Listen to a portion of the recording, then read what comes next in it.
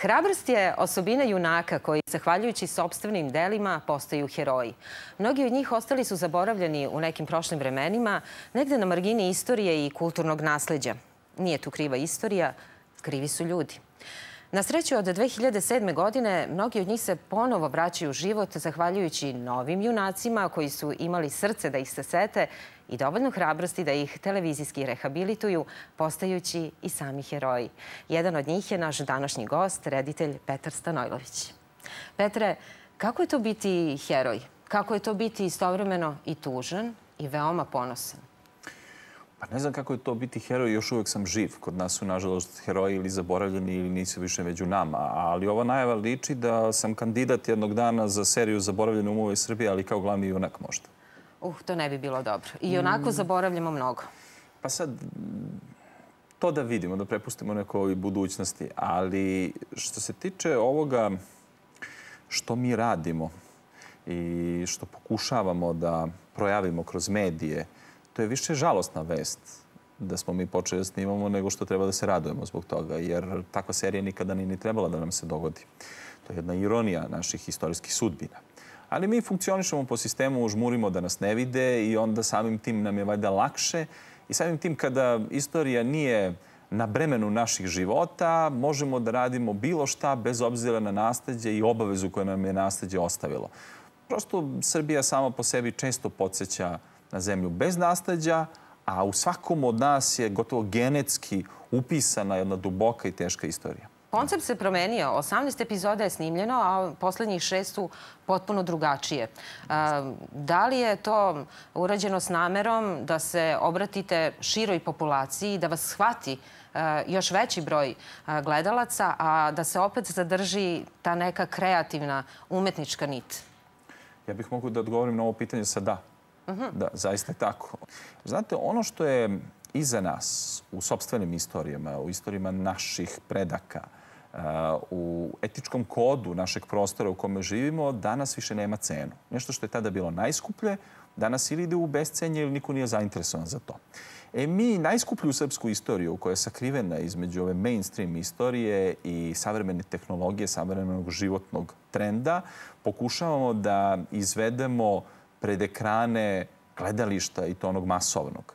Dakle, ideja doskakanja sistemu, kao što sam počeo da izlažem na osnovu ovog pitanja, jeste da se savremena tehnologija upotrebi za sve ono što ima svoju visoku vrednost i visoku poziciju u okvirima intelekta, duha, kulture i tome slično.